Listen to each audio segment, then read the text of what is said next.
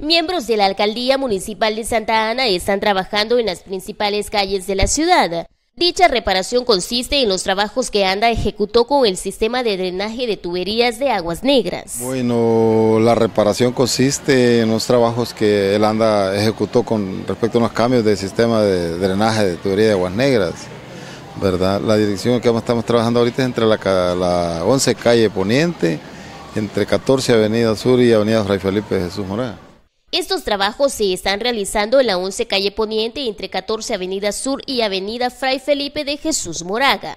Siempre aquí este, estamos, siempre en las arterias que están más destrozadas aquí en la zona urbana, pero estamos saliendo bien porque ya aquí ya, ya solo es una cuadra la que se va a reparar, ya la la cesta ya, ya quedó buena. Se ha iniciado un plan de recuperar las diferentes calles de la ciudad morena, ya que algunas vías de la ciudad lucen deterioradas, situación que afecta a los automovilistas.